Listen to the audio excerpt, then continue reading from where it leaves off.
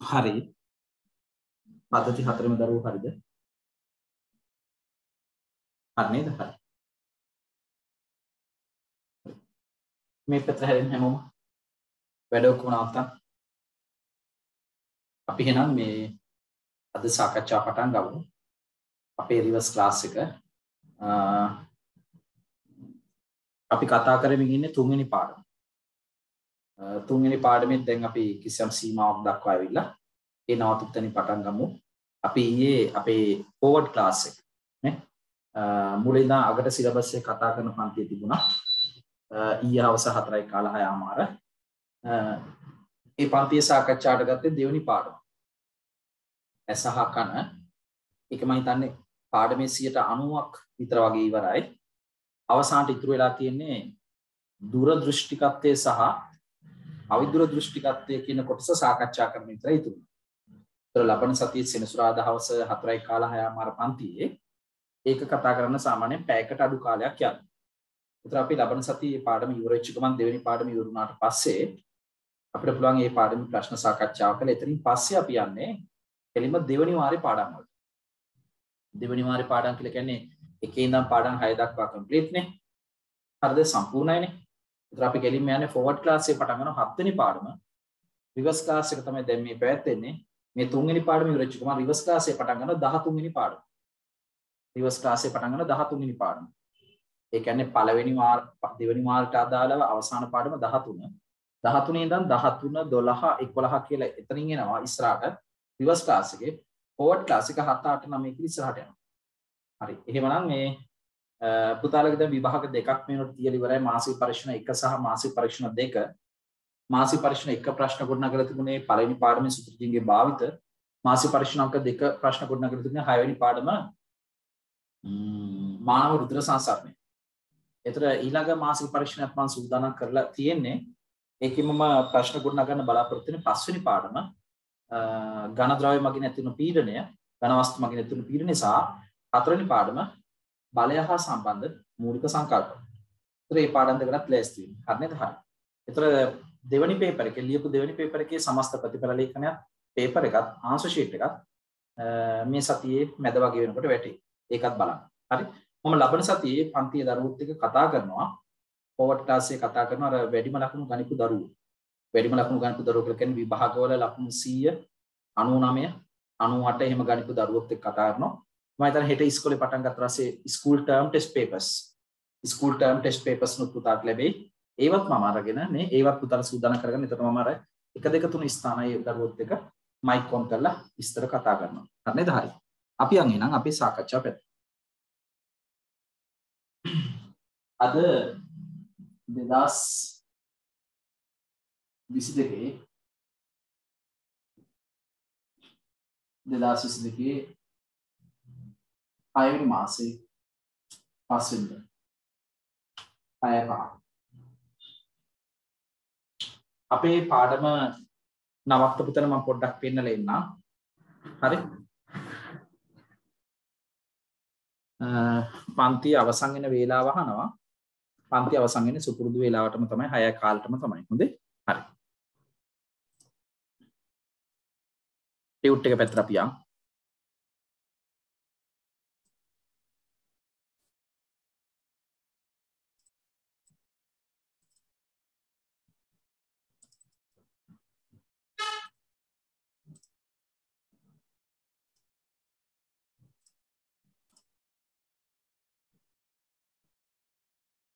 හරි පුතා you welcome. හරි. මට පොඩ්ඩක් උදව් කරනවද අපේ දරුවෝ කැමරා ඔන් කරන්නකෝ?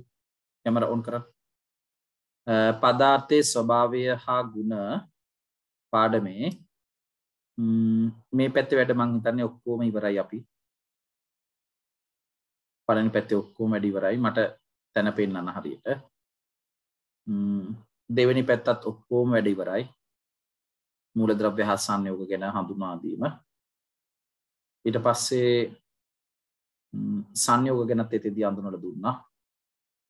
ඊට පස්සේ ගිය සතියේ මට මතකයි මේ ටික අපි කතා කරන්නේ මූලද්‍රව්‍ය සඳහා යොදාගෙන සංකේත. ඒ කියන්නේ ආවර්තාවගේ පිළිවෙලට මූලද්‍රව්‍ය 20 මතක තියාගන්න ඕන කියලා මම දරුවන්ට කිව්වා. ඊට පස්සේ ඔය මූලද්‍රව්‍ය වලට සංකේත ලබා දීමේදී සැලකිලිමත් යුතු කරුණු පිළිපැදිය යුතු නීති රීති ගැනත් අපි කතා කරා. ඒ ටිකත් ඉවරයි. ඊටසේ මූලද්‍රව්‍ය වල තැනුම් මේකක පරමාණු ගැනත් අපි සාකච්ඡා කරා. නේද? ඒකත් අවසන් වෙලා තියෙනවා. මෙතන අපි ඉන්නේ පිටු අංක 5. පිටු අංක 5. නෑ. අණු ගැනත් කතා කරා ගිය සතියේ නේද? අණු සෑදීම ගැන කතා කරා. අණු ප්‍රධාන වර්ග දෙකකට බෙදෙනවා කියලා කිව්ව සම ජාත්නේ. ඒ කියන්නේ ඒ කියන්නේ අණු ප්‍රධාන වර්ග දෙකකට බෙදෙනවා කියලා කිව්වා එකම වර්ගයේ පරමාණු සම්බන්ධ වීමෙන් සෑදෙන අණු සම පරමාණු කණු කියලා කතා කරා. වෙනස් වර්ගයේ පරමාණු එකතු වීමෙන් හැදෙන අණු විෂම පරමාණු කණු කියලා කතා කරා. මේ ඔක්කොම ගිය සතියේ රෙකෝඩින් එකේ ඇති. ඉතින් මේ ටිකත් ඉවර කරලා සම්පරමාණු කණු විෂම පරමාණු කණු ඉවර කරලා ඊට පස්සේ මම හිතන්නේ අපි ගියා මෙන්න මේ පිටු අංක 7. පරමාණුක ව්‍යුහය කියන තැනට. මෙතන එහෙම වැඩි විස්තර කරේ නෑ නේද පුතේ? මෙතන ආරම්භය ගත්ත විතරයි නේද? පරමාණුක ව්‍යුහය කියලා ආරම්භය ගත්ත විතරයි. හරි. හොඳ තැනක ඉන්නේ අපි. ඊටාම රසවත් කොටසක ඉන්නේ. අපි ඒ ටික හොඳට ලස්සනට සාකච්ඡා කරගෙන ආයිමත් අමතක නොවෙමු. හරිද? හරි. හරි මේ ටික ඔක්කොම එක සැරේට කතා කරමු. එහා පැත්තේ තියෙන උපපරමාණුක අංශය ඒව ගැන කතා කරමු. හරි. ඔය පරමාණුක ක්‍රමාංකය atomic number z වටනාකම කියන තැනට වෙනකම්ම එක සැරේට කතා කරන්න හදන්න. හරි. පෑන් පැන්සල් ඔක්කොම පැත්තකින් තියන්න. නිදහසේ හොඳට අහගෙන ඉන්න. මොකද්ද මේ කියන්නේ? හරි. ඒතර අමුතුවෙන් කටපාඩම් කරන්න විගදක් මහා සීල් දෙයක් නෑ. හොඳට අහගෙන ඉන්න. ඒක තව කෙනෙකුට කියලා දෙන්න පුළුවන්. බෝඩ් එක මේ view එක කොහොනද අපි full view එක ගමනේ. full view එක ගමනේ.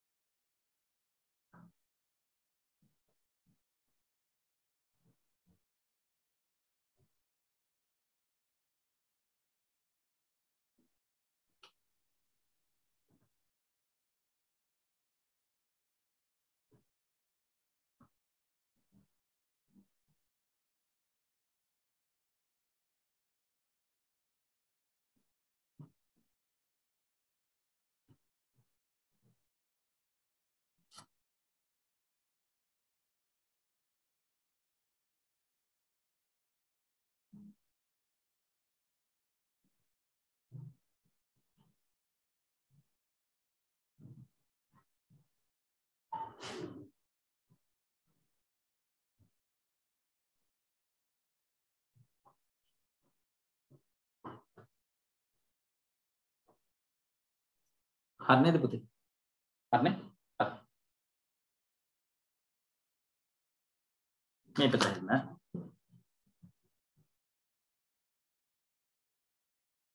බලමු. අපි මේ කතා කරමින් ඉන්නේ දැන් පදාර්ථය තුල පවතින පදාර්ථයේ ගොඩනැගිලා තියෙන මූලික අංශුව ගැන. ස්කන්ධයක් තියෙන අවකාශයේ ඉඩක් ගන්නා පදාර්ථය ගත්තහම ඒ පදානේ අපි කියන්නේ ස්කන්ධයක් සහිත අවකාශ ඉඩක් ගන්නා දේවල්ටනේ පදාර්ථය කියලා කියන්නේ. ඒ පදාර්ථය හැදිලා තියෙන්නේ පදාර්ථය භෞතික ස්වභාවය අනුව වර්ග තුනකට බෙදෙනවානේ. වර්ග තුනකට බෙදෙනවා. ඝන පදාර්ථ, ද්‍රව පදාර්ථ, වායු පදාර්ථ. ඉතින් ওই ඝන පදාර්ථ ගත්තත්, ද්‍රව පදාර්ථ ගත්තත්, වායු පදාර්ථ ගත්තත් ඔය සෑම පදාර්ථයකම මූලික තැනුම් මේකකි. මූලික අංශෝ විදිහට සලකන්නේ පරමාණුව. මම මෙහෙම කෙලවරකින් පටන් ගන්නම්. මෙන්න මගේ ගාව කිසියම් වූ පදාර්ථයක් තියෙනවා. ස්කන්ධයක් සහිත අවකාශී ඉඩක් ගන්නා පදාර්ථයක් තියෙනවා. එතන මේ පදාර්ථය ගොඩනැගිලා තියෙන මූලික උපපරමාණුනේ මූලික අංශුව හොයාගෙන යද්දි මට හමු වෙන්නේ පරමාණු. මේක මම හොයාගන්නපු දෙයක් නෙවෙයි මේක ජෝන් ඩෝල්ටන් හොයාගත්තා. හරිද? හොයාගෙන යා නම් කරා නේ පරමාණු කියලා. ගිය සතිය අපි ඒක කතා කරා නේද? ජෝන් ඩෝල්ටන්ගේ කතාව ඒ ටික ගිය සතිය කතා වුණානේ. හරි. ඉතිහාසය ගැන කතා කරා. ඈත අතීතයේ කතාව. ඉතින් මෙන්න මේ පදාර්ථයේ ගොඩනැගිලා තියෙන මූලික තැනුම් මේක. පදාර්ථයේ ගොඩනැගිලා තියෙන මූලික තැනුම් ඒකකය පරමාණු. පරමාණු. පරමාණුව. ඒ පරමාණුව තමයි මම මේ ලොකුවට ජෝන් ඩෝල්ටන් ඒකට නමක් දීලා තිබුණා. ඒ නම පුතාට මතක ඇති ඇටම්. ඇටම් කියලා ඉංග්‍රීසියෙන් කියනවා. සුද්ධ සිංහලෙන් පරමාණු. ඉතින් මෙන්න මේ පරමාණුව ගත්තාම පරමාණුව ගැන ගොඩක් දේවල් දැන් මේකට හොයාගෙන තියෙන්නේ. පරමාණුව හැඩයෙන් ගෝලාකාරයි. හැඩයෙන් ගෝලාකාරයි.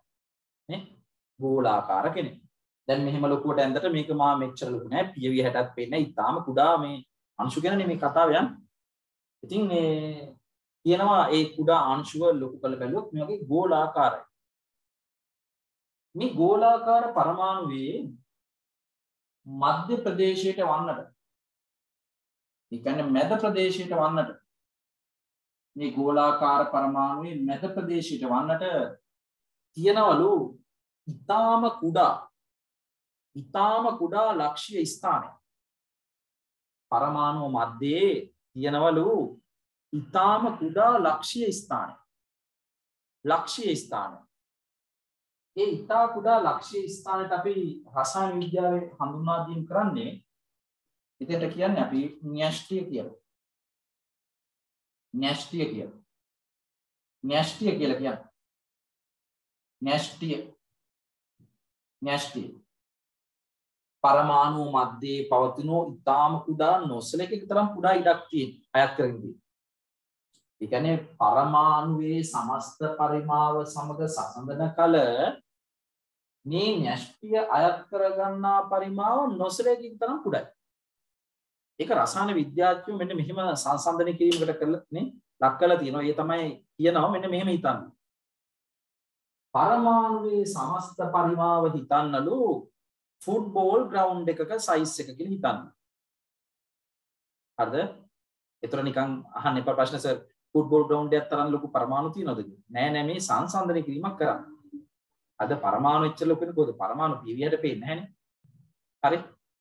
කියනවා සංසන්දනය කිරීමක් කරන මේ පරමාණුව හිතන්නලු ෆුට්බෝල් ග්‍රවුන්ඩ් එකක් විතර ඇතිනම් ඒ ෆුට්බෝල් ග්‍රවුන්ඩ් එකේ මැදට ගිහිල්ලා මැද තිය ගිහිල්ලා තිව්වොත් අපි කඩල ඇටයක්. ෆුට්බෝල් ග්‍රවුන්ඩ් එකේ මැද කඩල ඇටයක් තිව්වොත් හිතන්නලු අර සමස්ත පරමාණුවේ පරිමාව ෆුට්බෝල් ග්‍රවුන්ඩ් එකක් විතර ඇතිනම් ඒ ෆුට්බෝල් ග්‍රවුන්ඩ් එකේ මැද ගිහිල්ලා තියෙන කඩල ඇටයක් තරම් විතර ඇතුළු න්‍යෂ්ටියක් කරගන්න පරිමාව. දැන් ඔක හරියට තේරුම් ගන්න නැත්නම් කියයි සර් කිව්වා න්‍යෂ්ටිය කියලා කියන්නේ කඩල ඇටයක් තරම් විතරද පරමාණු ෆුට්බෝල් ග්‍රවුන්ඩ් එකක් විතර. එහෙම නෙමෙයි මේ කියන්නේ. මේ කියන්නේ සංසන්දනාත්මකව හිතන්නයි මේ කියන්නේ. දැන් නිකමට හිතන්න ෆුට්බෝල් ලොකු ෆුට්බෝල් ග්‍රවුන්ඩ් එකක මැද කඩල ඇටයක් ගිහිල්ලා තිබුවට ඔය ඔය මේ කඩල ඇටය ඈඩ් කරගන්න පරිමාණ නොසලක තරම් කුඩයිනේ. අර ලොකු ෆුට්බෝල් ග්‍රවුන්ඩ් එකත් සමග සංසන්දනය කරන කල අර මැද්ද ගිහිල්ලා තිබු කඩල ඇටයනේ අයත් කරගන්නා පරිමාණ නොසලක තරම් කුඩයි. ඒ වගේ තමයිලු පරමාණුවේ සමස්ත පරිමාව හා සසඳන කල නැෂ්ටි අයත් කරගන්නා පරිමාණ නොසලක තරම් කුඩයි. අනේ හරි. ඒ ඇත්තේ කතා ඇතුළත ගොඩක් මේ තව මේ වාක්‍ය දෙකක් හැංගිලා තියෙනවා.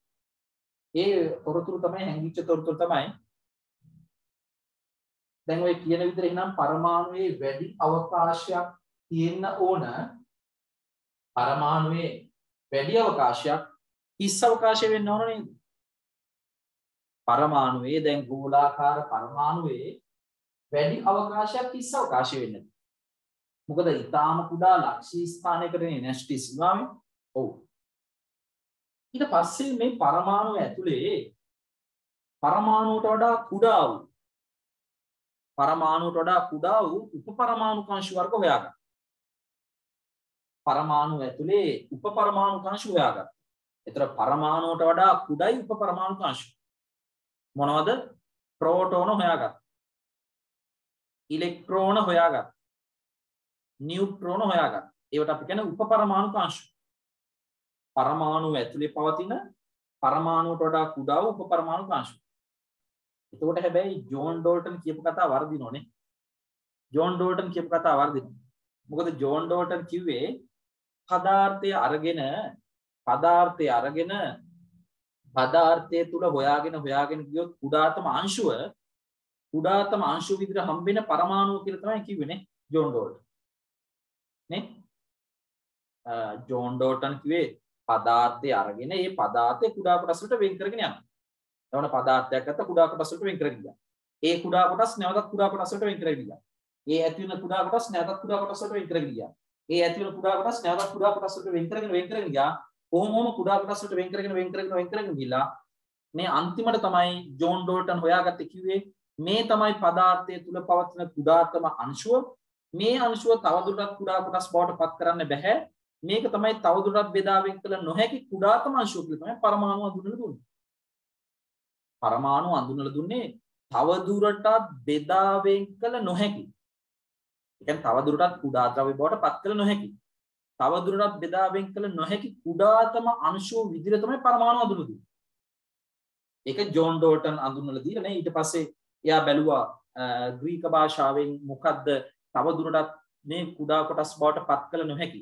ඒ කියන්නේ තවදුරටත් බෙදා වෙන් කළ නොහැකි තියෙන අර්ථය මොකද්ද තියෙන වචනය කියලා ග්‍රීක භාෂාව එයා හොයලා බැලුවා. දැන් මොකද මේ උදාංශුර නමක් දෙන්න එපායි. මොකද පදාර්ථය බෙදාගෙන බෙදාගෙන බෙදාගෙන බෙදාගෙන ගියාම හමු වෙච්ච කුඩාතම අංශුව. මේ ජෝන් ඩෝටන් කෝ මීට වඩා නම් තවදුරටත් කුඩා කොටස් වලට වෙන් කරන්න බෑ.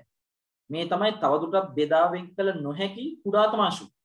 ඊට පස්සේ මේකට නම දෙන්න ගිහිල්ලා තමයි ජෝන් ඩෝල්ටන් ග්‍රීක පොත්වල බැලුවා තවදුරටත් බෙදා වෙන් කළ නොහැකි යන අර්ථය තියෙන්නේ මොන වචනේද? හම්බුණා වචනයක් ඇටමෝස් කියලා. ඒ ඇටමෝස් කියන වචනයෙන් තමයි ඇටම් කියන වචනේ වෙන් කරගෙන මේ අංශුවට පරමාණු කියලා නම දීලා ඉංග්‍රීසියෙන් නම දුන්නා ඇටම් කියලා. ඉතින් ඒ දැන් මේ ඇටම් නේ මේ තියපු පරමාණුව ඒ ජෝන් ඩෝල්ටන් කියන විදිහට පදාර්ථය තුල පවතින ඊටාම කුඩා අංශුව. ඒ කියන්නේ තවදුරටත් කුඩා අංශු බවට පත් කළ නොහැකි කුඩාතම අංශුව. හැබැයි දැන් ඒ වෙනකොට දැන් මේ වෙනකොට වර්තමානයේකට ඒ කතාව පිළිගන්නේ නැහැ. හේතුව තමයි පරමාණුවටත් වඩා කුඩා අංශු හොයාගෙන තියෙන්නේ. පරමාණුව ඇතුලේ තියෙන උපපරමාණු අංශු කියලා කියන්නේ පරමාණුවට වඩා කුඩා අංශු. එහෙනම් පරමාණුවත් තවදුරටත් කුඩා කොටස් වලට වෙන් කරන්න පුළුවන් මොනවද? උපපරමාණු අංශු වලට වෙන් කරන්න පුළුවන්. ඒතර උපපරමාණු අංශු විදියට මේ පරමාණු තුල හොයාගත්ත ප්‍රෝටෝන ප්‍රෝටෝන හොයාගත්තේ අර්නස්ට් රදර්ෆර්ඩ්. ප්‍රෝටෝන හොයාගන්නේ අර්නස්ට් රදර්ෆර්ඩ්. එතකොට තව උපපරමාණු උපපරමාණු කාංශ જાතියක් හොයාගන්න නියුට්‍රෝන. නියුට්‍රෝන හොයාගන්නේ James Chadwick. James Chadwick. James නෙවෙයි ජේම්ස් චැඩ්වික්. James Chadwick. ඊට පස්සේ ඉලෙක්ට්‍රෝන. ඉලෙක්ට්‍රෝනත් හොයාගන්න උපපරමාණු කාංශ જાතියක් විදිහට ඒ හොයාගන්නේ ජේ.ජේ තොම්සන්. එතර අර්නස්ට් රදර්ෆර්ඩ් ප්‍රෝටෝන සොයා ගැනීමත් සමග ජේම්ස් චැඩ්වික් නියුට්‍රෝන සොයා ගැනීමත් සමග ජේජේ තොම්සන් ඉලෙක්ට්‍රෝන සොයා ගැනීමත් සමග අර ජෝන් ඩෝල්ටන් කියපු කතාව පිළිගන්නේ නැති තත්ත්වයට පත් වෙනවා. ඒතර පදාර්ථය තුල පවතින තවදුරටත් බෙදා වෙන් කළ නොහැකි කුඩාතමාංශු පරමාණුව නෙමෙයි පරමාණුවට වඩා කුඩා අංශු තියෙනවා. ඒ තමයි පරමාණුත් තියෙන උපපරමාණු අංශු. ඉතින් එහෙම උපපරමාණු අංශු හොයාගත්තා.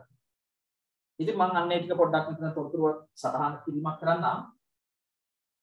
මේ න්‍යෂ්ටිය තුල තමයි පුතේ මේ අර ලක්ෂ්‍යාකාර ලක්ෂාකාර ඉතාම කුඩා ඉඩකට සීමා වෙච්ච ඉතාම කුඩා ඉඩකට සීමා වෙච්ච මේ න්‍යෂ්ටිය තුල මේ න්‍යෂ්ටිය තුල තියෙනවා උපපරමාණු කාංශු වර්ග දෙකක්.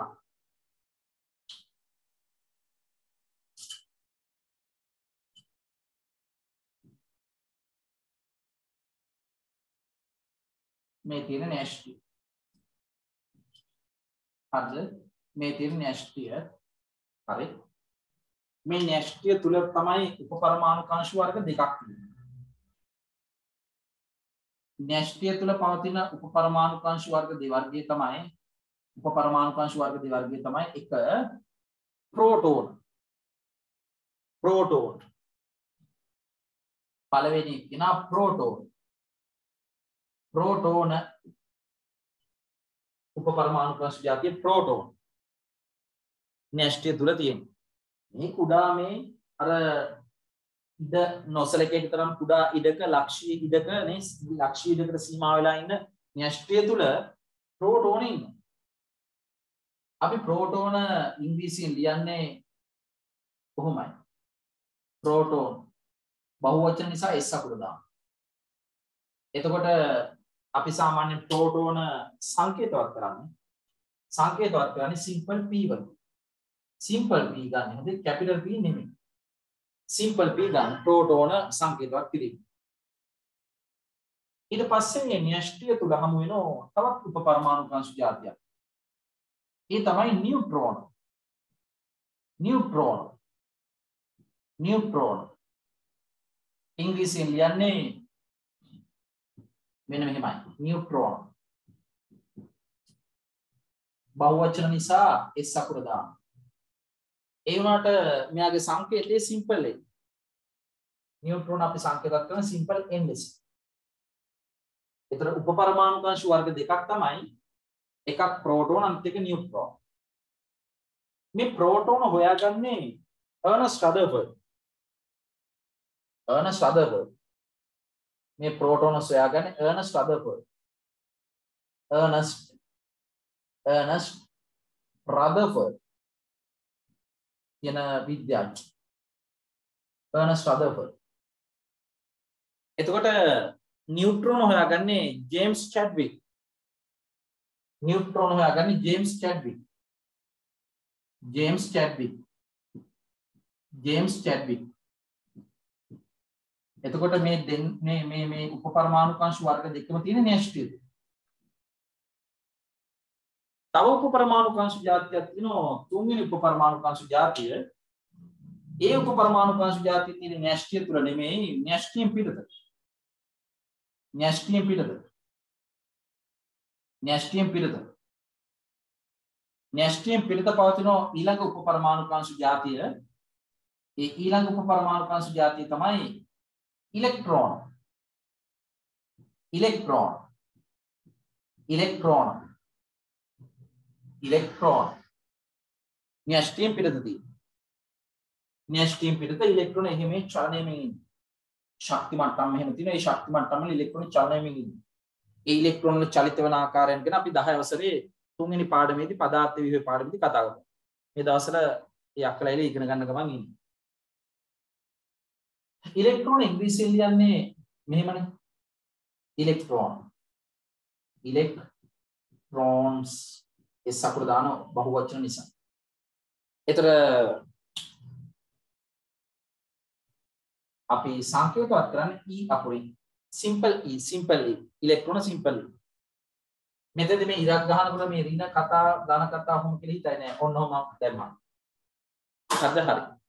ඉලෙක්ට්‍රෝන හොයාගන්නේ ඉලෙක්ට්‍රෝන හොයාගන්නේ ජේ.ජේ තොම්සන් කියලා විද්‍යාඥයෙක් J J Thomson J J Thomson J J Thomson J J Thomson හරිද? හරි. ජේ.ජේ තොම්සන් ඔන්න ඔය විදිහට පරමාණු තුල උපපරමාණු කාංශ වර්ග තුනක් හොයාගන්නවා එතකොට තව දේවල් මේ ගැන කියන්න තියෙනවා. ඒක මම දැන් පහළ වගුවක සටහන් කරන්න හදන්නේ. ඒ තමයි මේ ප්‍රෝටෝන එක ආරෝපණය. ප්‍රෝටෝන එක ආරෝපණය. නියුට්‍රෝන එක ආරෝපණය. ඉලෙක්ට්‍රෝන එක ආරෝපණය ගැන කතා කරන්න තියෙනවා. ඒ වගේම ප්‍රෝටෝන එක ස්කන්ධය නියුට්‍රෝන එක ස්කන්ධය ඉලෙක්ට්‍රෝන එක ස්කන්ධය ගැන කතා කරන්න තියෙනවා. අපි යම් පොඩි වගුවකට. හරි?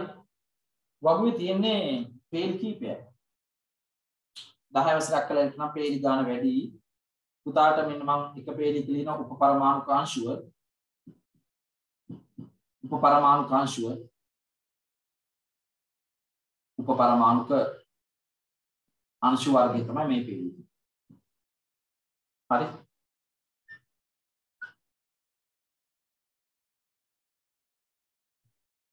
මේ පේලියේ තියෙන්නේ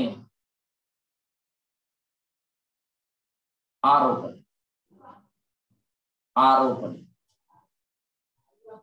ආරෝපණය ආරෝපණය හරි. ආරෝපණය ඊළඟ පේජි මම ලියන උපපරමාණු කාංශුවේ ස්කන්ධය. උපපරමාණු කාංශුවේ ස්කන්ධය. උපපරමාණුක අංශුවේ ස්කන්ධය. උපපරමාණු කාංශුවේ ස්කන්ධය. ඊළඟ පෙළේදී සොයාගන්නපු විද්‍යාඥයන් ගැන වෙනම සටහනක් කරන්න අවශ්‍ය නැහැ. ඉහළින් සටහන් කරලා තියෙනවා. හරි මේ ටික අපි කතා කරමු. උපපරමාණු අංශුව තමයි පළවෙනි එක ප්‍රෝටෝන ප්‍රෝටෝන ගැන විස්තර ප්‍රෝටෝන ගැන විස්තර මම මේ පේජේ ලියනවා. දෙවෙනි උපපරමාණු අංශු જાතිය තමයි නියුට්‍රෝන නියුට්‍රෝන නියුට්‍රෝන තුන්වෙනි උපපරමාණු අංශු જાතිය තමයි ඉලෙක්ට්‍රෝන ඉලෙක්ට්‍රෝන හරි. ඡේද තුනක් වෙන් කරගමු නැත්නම් අර එක ගොඩේ වගේ වෙන නිසා.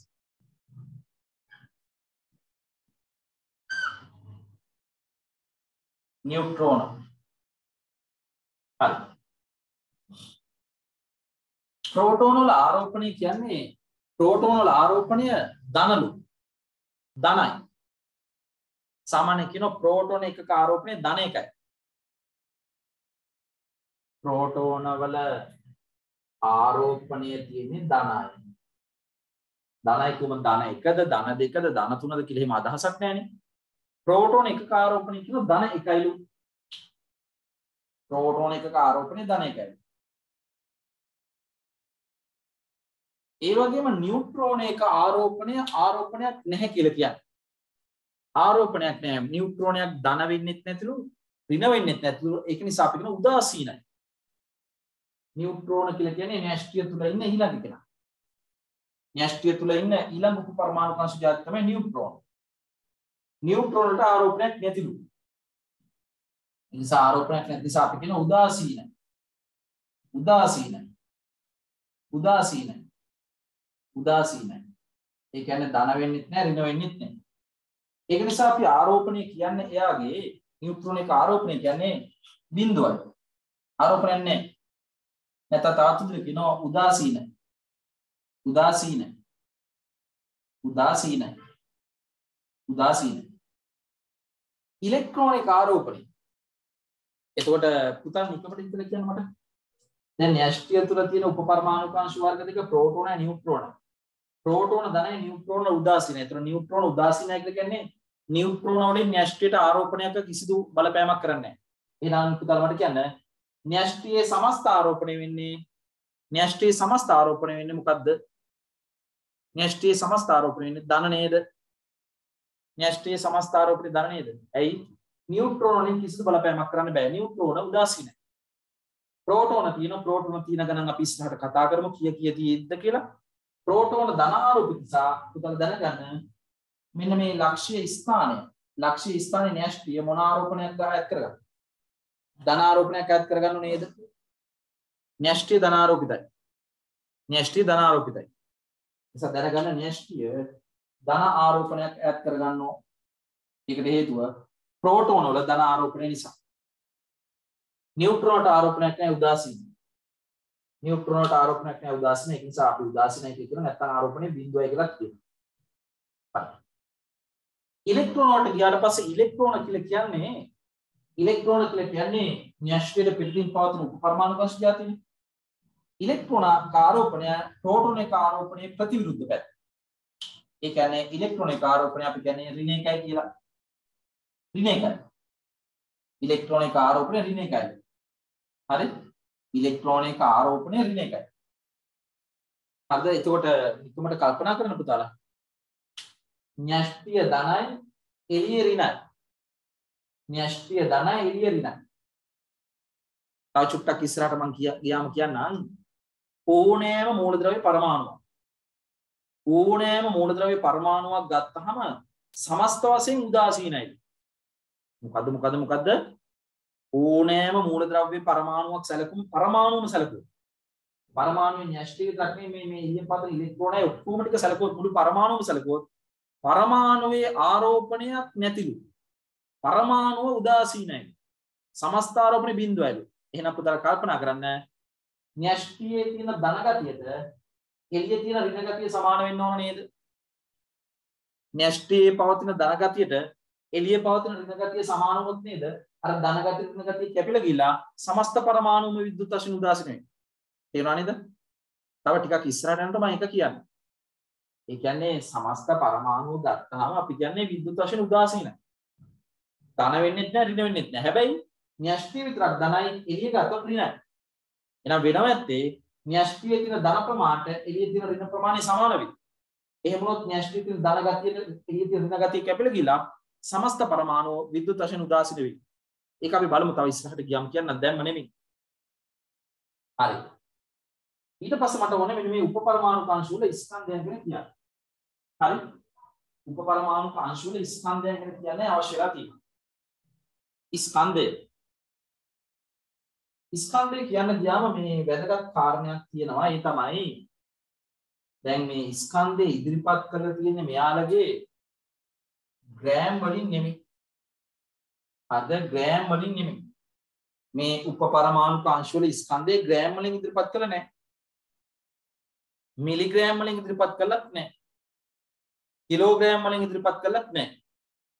මෙයාලගේ ස්කන්ධය ඉදිරිපත් කළ තියෙන ඉතාම කුඩා වටිනාකමක යුතු ඒකකයකට සාපේක්ෂව. හරිද? මොකද හේතුව මේ පරමාණු ගොඩාක් කුඩා අංශු ඒ පරමාණු ඇතුලේ තියෙන උපපරමාණු අංශු සැලකුවොත් ඒවා ඊටත් වඩා කුඩායි. ඒක නිසා මේ චූටි උපපරමාණු අංශු වල ස්කන්ධේ මනින්න. මේ පරමාණු වල ස්කන්ධේ මනින්න. අණුවල ස්කන්ධේ මනින්න. අයනවල ස්කන්ධේ මනින්න ඔය කිලෝග්‍රෑම් කියන වගේ ඒකක ලොකු වැඩි. ග්‍රෑම් කියන ඒකක ලොකු වැඩි. මිලිග්‍රෑම් කියන ඒකක ලොකු වැඩි. ඒක නිසා රසායන විද්‍යාඥයෝ එකග වෙලා එකතු වෙලා කතා කරගත්තා. අපි මේ පරමාණු වල ස්කන්ධේ මනින්න අණු වල ස්කන්ධේ මනින්න අයනවල ස්කන්ධේ මනින්න ඒ කියන්නේ ඊට අමතරව උපපරමාණු අංශ වල ස්කන්ධේ මනින්න කුඩා ඒකකයක් හඳුන්වලා දෙමු එහෙම කියලා කුඩා ඒකකයක් අඳුනලා දුන්නා. ඒ කුඩා ඒකකය තමයි කියන්නේ පරමාණුක ස්කන්ධ ඒකකය කියලා. පරමාණුක ස්කන්ධ ඒකකය. පරමාණුක ස්කන්ධ ඒකකය. පරමාණුක ස්කන්ධ ඒකකය.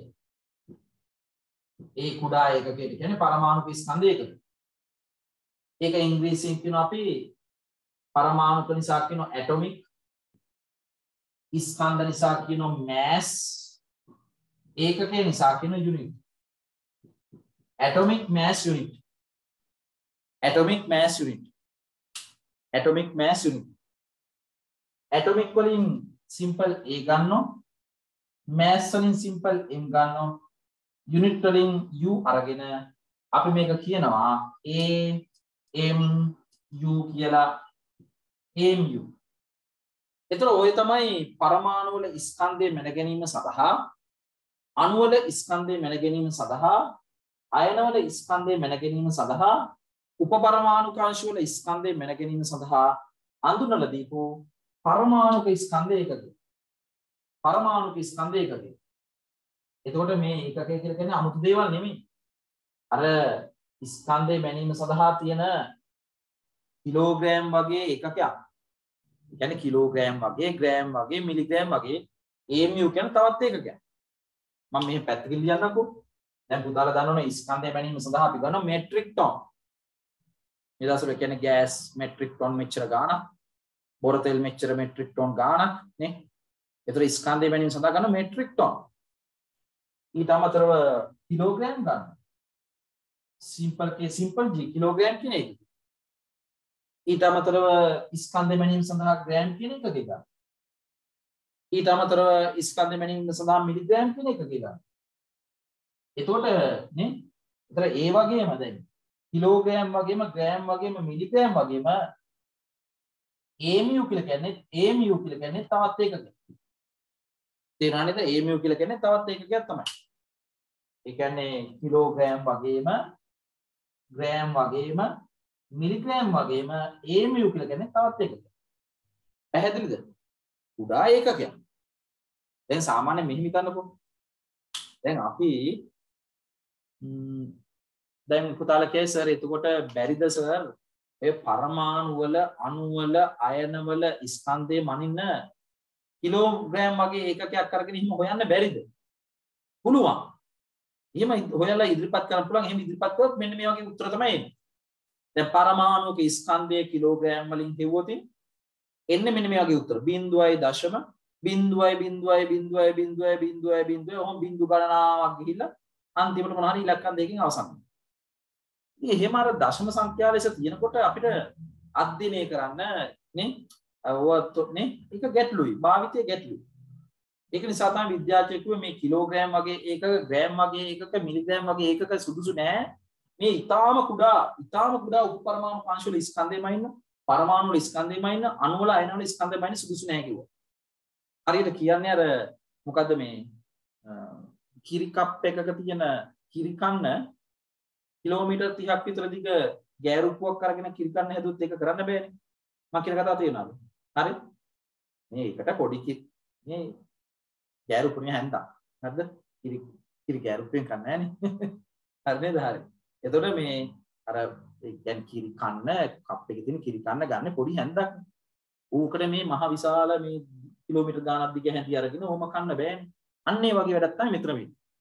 ඒ කියන්නේ පරමාණු වල ස්කන්ධය, අණු වල ස්කන්ධය, ආයන වල ස්කන්ධය, උපපරමාණු කාංශ වල ස්කන්ධය ඉතාම කුඩායි.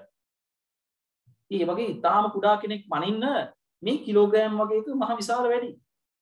ඒක නිසා තමයි කිලෝග්‍රෑම් වලින් ඉදිරිපත් කරන්න කියන්නේ 0.0.020ක් විතර ලියලා තමයි අන්තිම උත්තර ලියන්නේ. ඉතින් ඒ නිසා කිව්වා මේ අර ලොකු ස්කන්ධමයින් ඔය කිලෝග්‍රෑම් ග්‍රෑම් මිලිග්‍රෑම් ගමු අපි කුඩා ස්කන්ධමයින් වෙනම එකකයක් අඳුරලා දීමු කියලා කිව්වා. එහෙම අඳුරලා දීපු එකකේ තමයි AMU. මේක තමයි කියන්නේ පරමාණුක ස්කන්ධ ඒකකයේ. මේක ගැන කතා කරනවා ඊළඟ අවුරුද්දේ පුතාලා 10 වසරේ හත්වෙනි පාඩම තියෙන රසායනික සංයෝග ප්‍රමාණය. මෞලික පාඩම. මේ මෞලික පාඩමේදී මම මේ පරමාණු ස්කන්ධ එකකේ වටිනාකම පවා කැල්කියුලේෂන් එකකින් ගන්නවා. ගණනය කිරීමකින් ගන්නවා. ඒ පරමාණු ස්කන්ධ එකකේ වටිනාකම සමාන වෙන්නේ කාබන් 612 සමස්ථානිකයේ පරමාණුක ස්කන්ධයෙන් 12න් එකක වටිනාකම. ඒක අපි ගණනය කරන 10 වසරේ. දැන් ඕනේ නැහැ.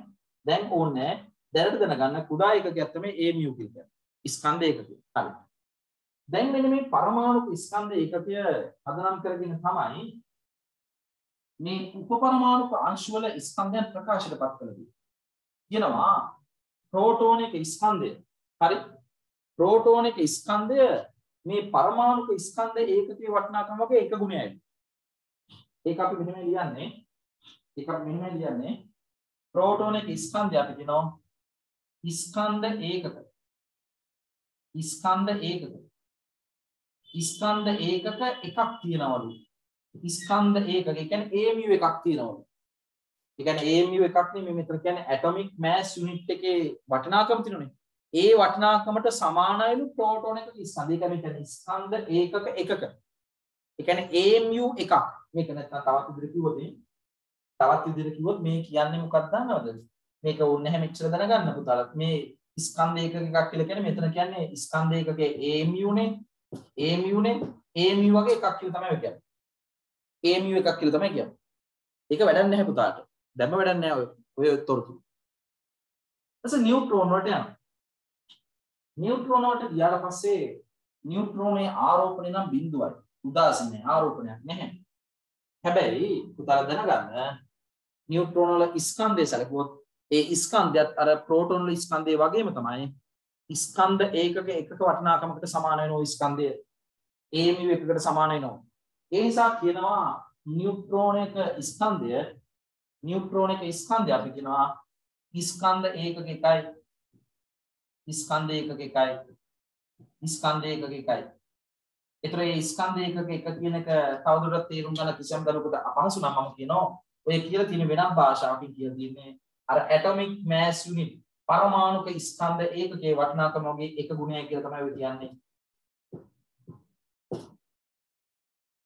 හරි එතකොට ඊළඟට තියෙනවා ඊළඟට තියෙනවා ඉලෙක්ට්‍රෝන ඉලෙක්ට්‍රෝන කියන්නේ මේ ප්‍රෝටෝනත් එක්ක නියුට්‍රෝනත් එක්ක සසඳන කල ඉලෙක්ට්‍රෝනික ස්කන්ධයෙන් නොසලකිය හැකි තරම් කුඩා කියලා තමයි රසායන විද්‍යාව සලකන්නේ.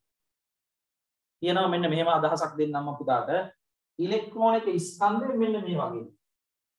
මොකද්ද? ස්කන්ධ ඒකක එකක වටිනාකම තියෙනවනේ. ස්කන්ධ ඒකක එකක වටිනාකම තියෙනවනේ. ඒතර ස්කන්ධ ඒකක එකක වටිනාකම කියලා කියන්නේ නියුට්‍රෝනික ස්කන්ධයට සමානයි. ප්‍රෝටෝනික ස්කන්ධයට සමානයි. මේ ස්කන්ධ ඒකක එකක වටිනාකම 1840න් බෙදලා ගත්තොත් මොකද්ද මොකද්ද මොකද්ද? ස්කන්ධ ඒකක එකක වටිනාකම 1840න් බෙදලා ගත්තොත් කුඩා උත්තරයක් එන්නේ? ඉතාම කුඩා උත්තරයක් එන්නේ? ඉතාම කුඩා උත්තරයක් එන්නේ? අන්නේ ඉතාම කුඩා උත්තරයට සමාන දෙයක් ඉලෙක්ට්‍රොනික ස්කන්ධ. ඒ නිසා රසායන විද්‍යාඥයෝ කියනවා ප්‍රෝටෝන එක ස්කන්ධ ස්කන්ධ එකක එකයි හරි AMU එකයි. නියුට්‍රෝන එක ස්කන්ධය හරි ස්කන්ධ එකක එකයි AMU එකයි. කියනවා ඉලෙක්ට්‍රෝන එක ස්කන්ධය අර ප්‍රෝටෝන එක ස්කන්ධය හා නියුට්‍රෝන එක ස්කන්ධය සමග සසඳන කල නොසලකිය හැකි තරම් කුඩයි ඒ එහෙම කියන්නේ ඉලෙක්ට්‍රෝනික ස්කන්ධය කියන අර ස්කන්ධ ඒකක එකක වටිනාකම අරගෙන ඒ ස්කන්ධ ඒකක එක වටිනාකම අරගෙන ඒක 1840 බෙදලා ගත්තම උත්තරේ ඊටාම චූටි උත්තරයක් නෙන්නේ. අන්නේ චූටි උත්තරයට සමානයි ඉලෙක්ට්‍රෝනික ස්කන්ධය. ඒක නිසා ගොඩක් වෙලාට කියන්නේ අර ප්‍රෝටෝන වල ස්කන්ධය හා සසඳන කල නියුට්‍රෝන වල ස්කන්ධය හා සසඳන කල sorry ප්‍රෝටෝන වල ස්කන්ධය හා නියුට්‍රෝන ස්කන්ධය සසඳන ප්‍රෝටෝන වල ස්කන්ධය හා සසඳන කල නියුට්‍රෝන වල ස්කන්ධය හා සසඳන කල ඉලෙක්ට්‍රෝන අයත් කරගන්නා ස්කන්ධය නොසලකී තරම් පුදුයි. අපි ගොඩක් වෙලාට මෙතන කියනවා මේ ඉලෙක්ට්‍රෝනික ස්කන්ධය ආසන්න වශයෙන් සමානයි 0යි කියලා. ඉලෙක්ට්‍රෝනික ස්කන්ධය ආසන්න වශයෙන් සමානයි 0යි කියලා. තේරුණා නේද? එහෙම කියනවා. එතකොට මේක AMU වලින් ප්‍රකාශ කරොත් මම මේ වැඩි වැඩක් කරේ මේ AMU අඳුනලා දීලා. නැත්නම් මට සරලව කියන්න තුන ස්කන්ධ එකක එකයි ස්කන්ධ එකක එකයි ස්කන්ධ එකක නේ එකක වටිනාකම 1840 බෙදලා පස්සේ උත්තරේ. මම වැඩි හොඳට මේ AMU එකයි AMU එකයි එහෙනම් මොකද මේ කියන්නේ? ස්කන්ධ එකක එකක් කියලා කියන්නේ AMU එකක් ස්කන්ධ එකක එකක් කියලා කියන්නේ AMU එකක්. එහෙනම් ඒක කීයද? 1840 බෙදන්න. හරිද? 1840 බෙදන්න. හරිනේ? හරි. එතකොට මේ බලන්නකෝ. දැන් හරි අමුතු දෙයක් මෙතන පේනෝනේ. මොකද?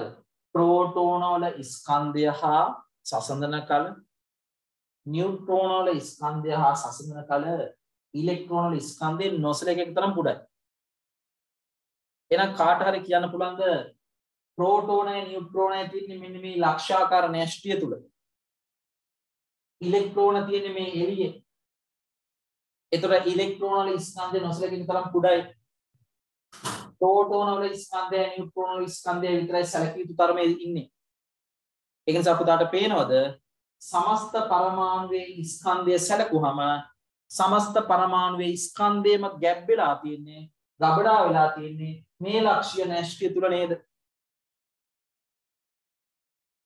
ඒ කියන්නේ එළියෙන් පවතින අවකාශය තුළ ඉලෙක්ට්‍රෝන හිටියට වැඩක් නැහැ. ඉලෙක්ට්‍රෝන වල ස්කන්ධය නොසලෙක් තරම් කුඩයි. ප්‍රෝටෝන හා සසඳන කළ නියුට්‍රෝන හා සසඳන කළ ඉලෙක්ට්‍රෝන අයත් කර ගන්න ස්කන්ධය නොසලෙක් තරම් කුඩයි. එතන ඉලෙක්ට්‍රෝන තියෙන මේ එළිය අවකාශය තුල. චලනයමින් ඉන්නේ. එතන න්‍යෂ්ටිය තුල තමයි ප්‍රෝටෝන නියුට්‍රෝන ඉන්නේ. එතන මේ න්‍යෂ්ටි ඉතාම කුඩා ලක්ෂ්‍ය ස්ථානට සීමා වෙලා තියෙන්නේ. ඒක අපි සංසන්දනය කරේ මේ සමස්ත පරමාණුවේ පරිමාණ ෆුට්බෝල් ග්‍රවුන්ඩ් එකක් නම් ඒ ෆුට්බෝල් ග්‍රවුන්ඩ් එකේ මැද තියෙන කඩල ඇටයක් තරම් විතර දිකුව න්‍යෂ්ටියක් කරගන්න පරිමාණ. ඒ ඉතා කුඩා ලක්ෂ්‍ය ස්ථානට සීමා වෙලා තමයි තියෙන්නේ න්‍යෂ්ටිය. ඒ වුණාට ඒ න්‍යෂ්ටිය තම ඒ න්‍යෂ්ටිය තුල තමයි මේ සමස්ත පරමාණුම ස්කන්ධය ගැට වෙලා තියෙන්නේ. ඇයි ඉතින් ස්කන්ධය බලපාන්නේ ප්‍රෝටෝනයි නියුට්‍රෝනයි විතරයි. ඉලෙක්ට්‍රෝන බලපාන්නේ නැහැනේ. එතර මේ ඇත්තටම පරමාණු ලොකු ප්‍රදේශයක තියෙන හිස් අවකාශය. එතර මේ න්‍යෂ්ටියට පිටින් තියෙන හිස් අවකාශය. මේ හිස් අවකාශය තුල ඉලෙක්ට්‍රෝන චලනයමින් ඉන්නවා. එතර මැදේ තමයි ලක්ෂ්‍ය ස්ථානක න්‍යෂ්ටිය තියෙන්නේ. එතර සමස්ත පරමාණුවේ ස්කන්ධයම තියෙන්නේ සමස්ත පරමාණුවේ ස්කන්ධයේ ගැප් වෙලා තියෙන ගබඩා වෙලා තියෙන අන්තර්ගත වෙන්නේ මේ න්‍යෂ්ටිය. තේරුණාද කතාව? හරි? තේරුණාද? හරි? ඔය උපපරමාණු කාංශ තුන ගැන විතරයි කිව්වේ. අව ගොඩක් දේවල් කියන්න තියෙනවා. අපි ටියුට් එක පැත්තට ගිහිල්ලා පොඩ්ඩක් ওই ටික බලාගෙන ওই ටික හයිලයිට් කරගෙන ඉන්නකෝ. මොනවද තව කියන්නේ?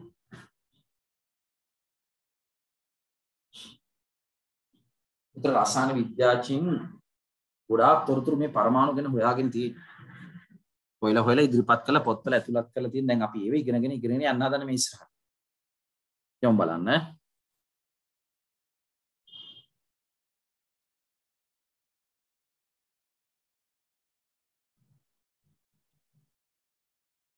හරි.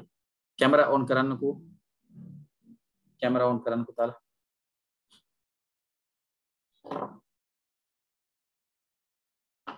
හෙට ඉස්කෝලේ පටන් ගන්න ඕනේ.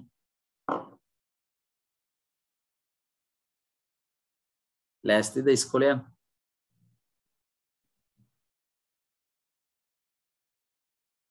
අර වගාබිම හරිද? ආ එහෙම දෙයක්වත් කිව්වා සර්නේ. අපිට මතකයි මීට දවස් 10කට කලින් එහෙම දෙයක් කිව්වොත් දැන් තමයි එක සැරේට මතක් වුනේ. බලමු වෙලාවක් තිබුණොත් හෙට ඉස්කෝලේ යන්න ඕන අද හවස වෙලාවක් තිබුණොත් බලමුනේ. හරි එහෙම බෑ. හදන අය හදලා ඉවරයි මේනකොට. හෙට දැන් ඉස්කෝලේ පටන් ගන්නවා. නේ? ලෝක ආහාර අර්බුදයක් තියෙන. රටේ විතරක් නේ ලෝකේම ආහාර අර්බුදයක් තියෙන. ඉතින් ඒක නේ විසඳ ගන්න. නැත්තම් ඉතින් කරන්න දෙයක් නැහැ. හරි. හරි. දැන් හෙට ඉස්කෝලේ යන්න මොකද තත්ත්වේ? පෙට්‍රල් තියනවද? ඩීසල් තියනවද? හරි. පුළුවන් තත්ත්වයක දින්නේ යන්න පුළුවන්ද? හොඳ ෆුඩ් සයිකලයක් ගන්න. ෆුඩ් සයිකලයක් ගන්න බෑනේ දැන් මේ ෆුඩ් සයිකලයක් ගන්නට වඩා ලේසි ත්‍රී වීලර් එකක් ගන්න එකනේ. ෆුඩ් සයිකලයක් මෙතන රුපියල් බර ගාණක් වෙනෝනේ. හරි.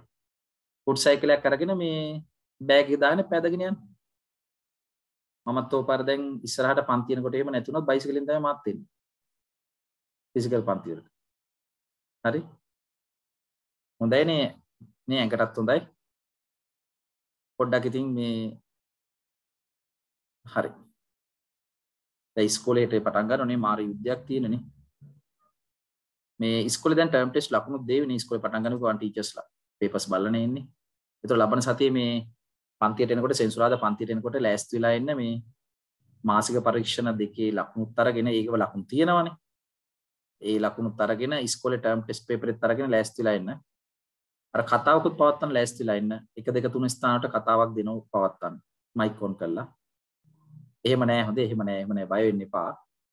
හරිද? මයික් ඔන් කරලා කතා කරන්න එපා. දැන් කොහොමද වැඩ කරන්නේ කියලා මොකද එක දෙක තුන ස්ථානත් එක්ක මම කතා කරනවා. හරි? සමහර දරුවෝ කියනවා පහුගිය අවුරුද්දේ සර් අපිටත් අවස්ථාවක් දෙන්න සර් මයික් එක ඔන් කරලා කතා කරන්න. අපේ හිතේ ගොඩක් දේවල් කියන්න දේවල් තියෙනවා. නමුත් කියා ගන්න විදියක් නැහැ. ඉතින් එහෙම කියා ගන්න ඕන නේ කියා ගන්න නම් ලකුණු ගන්න. එක දෙක තුන ස්ථානවලට එන්න රෑන්ක්ස් වලට එන්න. එක දෙක තුන ඇතුළට ආවට පස්සේ කියන්න පුළුවන්. සමහර දරුවෝ කියනවා අපි සර් අමාරුවෙන් පළවෙනි ටෙස්ට් එකේ ලකුණු 50 ගණන් තිබුණේ දෙවෙනි එකේ 70 ගණන් තිබුණේ තුන්වෙනි එකේ 80 ගණන්ට ආව. තාමත් අපිට අවස්ථාවක් ලැබුණේ නැහැ. ඉතින් 90 ගණන්ට ඇවිල්ලා කොහොම හරි එක දෙක තුන ස්ථානට එන්න. හරි? එතකොට අපිට කතා කරන්න පුළුවන්. හරිනේ? ඉස්කෝලේ ටර්ම් ටෙස්ට් එකේ විශේෂයෙන්ම ලකුණු අරන් ඉන්න පේපරෙත් ඕන ලකුණුත් ඕන. හරිද? දැන් ඉස්කෝලේ ගිහිල්ලා ලැබුණු ගමන් ඊළඟ සෙන්සුරාදා වෙනකන් ඉන්න එපා. මට WhatsApp වලට පුළුවන් නම් පේපරේ ෆොටෝස් ගහලා දාලා ලකුණු දාන්න ස්කූල් ටර්ම් ටෙස්ට් පේපරේ. ඒකනේ ඒක තමයි මට දැනගන්න ඕනේ. මොකද මගේ ටෙස්ට් එකේ ලකුණු ගත්තා වගේම ඉස්කෝලේ ටර්ම් ටෙස්ට් එකේ ලකුණුත් ඕන මට. හරිනේ? හරි. අපි යමු.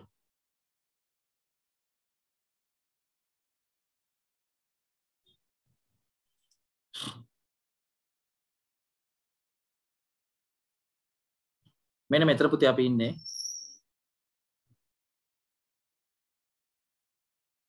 පරමාණුක ව්‍යුහය. බලන්න මේ ටික ඊටාම සරල කාරණා ටිකක්. මේ ටික බලාගෙන යන්කෝ ඉස්සරහට. මේ තියෙන්නේ සමස්ත පරමාණු ටික අවුලක් නැහැ. මේ තියෙන්නේ පරමාණු මැද්දේ තියෙන අර ලක්ෂීය ස්ථානය න්‍යෂ්ටිය නේද?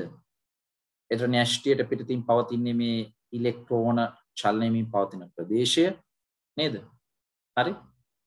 එතකොට න්‍යෂ්ටිය තුල තියෙන උපපරමාණුකාංශ වර්ග දෙවර්ගය ගැන කියනවා එකක් ප්‍රෝටෝන සිම්පල් p වලින් සංකේතවත් කරන්න. අනිත් එක නියුට්‍රෝන සිම්පල් n වලින් සංකේතවත් කරන්න. හරි? ඊළඟට ඉලෙක්ට්‍රෝන චලනයමින් පවතින ප්‍රදේශය. ඒ චලනයමින් පවතින ප්‍රදේශය කියලා කියන ඔය කියන්නේ න්‍යෂ්ටියට පිටින් ප්‍රදේශයනේ. ඒ තුළ ඉලෙක්ට්‍රෝන තියෙනවා. සිම්පල් E වලින් සංකේතවත් කරන්න. පහළට යන්න. තහ පහළට යන්න. පහළට යන්න. මේ මේවා ඔක්කොම අතින් ලියලා ලෑස්ති වෙන්න හොඳේ නැතුව මේ කම්මැලිකමට ලේසියට print out ගන්න එපා. ඉතින් print out අරගෙන කරාට කරාම ඉතින් තමන්ගේ පැත්තේ ලකුණු අඩු වෙයි. ඉතින් ලකුණු අඩුවෙන් ගන්න ඕන නම් පන්තියෙන් ඕනේ නැහැනේ. පන්තියෙන් ලකුණු වැඩි කරගන්නනේ. ඒ නිසා මේවා සටහන් අතින් ලියනකොට මේවා තමන්ට හුරු පුරුදු වෙනකොට තමයි මේවා තේරෙන්න පටන් ගන්න. මේ ඔළුවේ තැම්පත් වෙන එක නිසා මේවා අතින් ලියන්න. හරිද? නෝට් එකක් මම වේලාසන ඉතින් නැත්තම් වෙන්නේ අර මම කියන දේවල් ඇහෙන්නේ නැහැ සමහරට සිග්නල් නැති වෙන පුළුවන් පුතාලගේ පැත්තෙන්. දැන් නෝට් එක දුන්නම සටහන කොහෙන්වත් අඩු වෙන්න විදියක් නැහැ නේ. හරිනේ හරි. අතින් ලියන්න ඒක අනිවාර්ය දෙයක්. හරි. බලන්න පහලින් කියනවා මෙන්න විස්තර ටික. කියනවා පරමාණුව හයිලයිට් කරන්න මෙතන ඉඳන් වැදගත්. විශාල හිස් අවකාශයකින් හරි පරමාණුව විශාල හිස් අවකාශය හා මධ්‍යයේ පිහිටි ලක්ෂීය න්‍යෂ්ටියකින් හරිනේ පරමාණු විශාල හිස් අවකාශයකින් හා මධ්‍යයේ පිහිටි ලක්ෂීය න්‍යෂ්ටියකින් සමන්විත වේ. ඒ ගැන මුලින්ම කිව්වේ අර්නස්ට් රදර්ෆර්ඩ්. මේ මුල්වලට ප්‍රකාශ කරන ලද්දේ හයිලයිට් කරන අර්නස්ට් රදර්ෆර්ඩ්. ආ මෙයා තමයි ප්‍රෝටෝන හොයාගත්තේ. හොඳේ. මෙයා තමයි ප්‍රෝටෝන හොයාගත්තේ. හරි? අර්නස්ට් රදර්ෆර්ඩ් නැමැත්තා විසින්. ඊට පස්සේ අර ජෝන් ඩෝටන් කියපු කතාවත් විතර මතක් කරලා දුන්නා. කියනවා පරමාණුව තවදුරටත් බෙදා වෙන් කළ නොහැකි ඉතා කුඩා අංශුවක් බව. ඒ කියන්නේ ජෝන් ඩෝල්ටන් කියපු විදිහට පදාර්ථය තුල පවතින තවදුරටත් බෙදා වෙන් කළ නොහැකි ඉතාම කුඩා අංශු උනේ පරමාණු. නමුත් ඒක හරි ගියේ පොඩි කාලයක්. අර ඔය උපපරමාණු කාංශ සොයා ගැනීමත් එක්ක ඒ කතාව පිළිගන්නේ නැතුව ගියා රසායන විද්‍යාව. තාමත් හැබැයි අපි ජෝන් ඩෝල්ටන්ට ගරු කරනවා. එයා තමයි පරමාණු හඳුන්වා දීම නම් කිරීම ඒ ඔක්කොම කරේ ජෝන් ඩෝල්ටන්. පරමාණුව තවදුරටත් බෙදා වෙන් කළ නොහැකි ඉතා කුඩා අංශුවක් බව හයිලයිට් කරන්න පුතේ. John Dalton. ජෝන් ඩෝල්ටන් විසින් ප්‍රකාශ කරල ප්‍රකාශ කළද වර්තමානය වන විට සොයාගෙන ඇත්තේ අන්න හයිලට් කරන වැදගත් වැදගත් වර්තමානය වන විට සොයාගෙන ඇත්තේ පරමාණුව තුළ පරමාණුව තුළ උප පරමාණුක අංශු කීපයක් පවතින බවයි පරමාණුව තුළ උප පරමාණුකංශු වර්ග කීපයක් පවතින බවයි. ඊට පස්සේ උප පරමාණුකංශු පැත්තට යනවා. පරමාණුව මධ්‍යයේ ඇති න්‍යෂ්ටිය. පරමාණුව මධ්‍යයේ ඇති න්‍යෂ්ටිය. හයිලයිට් කරන්න මුලින්දම හයිලයිට් කරත් හොඳයි. පරමාණුව මැද තියෙන මධ්‍යයේ ඇති න්‍යෂ්ටිය